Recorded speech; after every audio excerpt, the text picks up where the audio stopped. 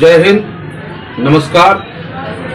मित्रों, मैं पंडित मनमोहन झा गामा साहिबाबाद विधानसभा प्रत्याशी A I am I am आपसे कुछ पर्सनल बातें शेयर करना है।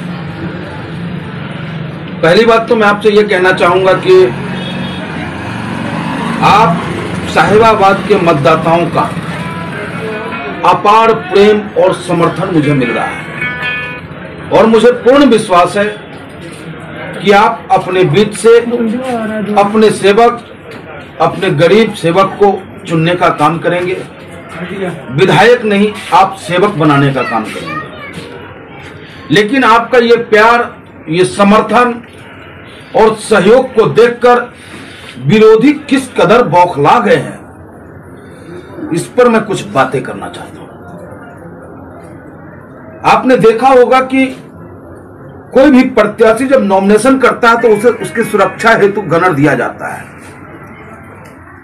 लेकिन मेरे साथ भेदभावपूर्ण रवैया अपनाया जा रहा है।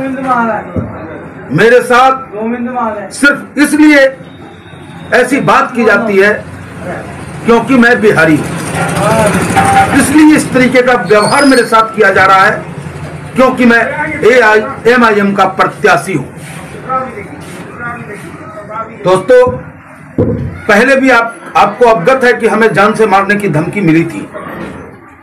और कल रात भी एक महानुभाव कथित हिंदू जो अपने आप को एचआरडी का नेता बताता है, वो फिर हमें धमकाने का प्रयास करता है।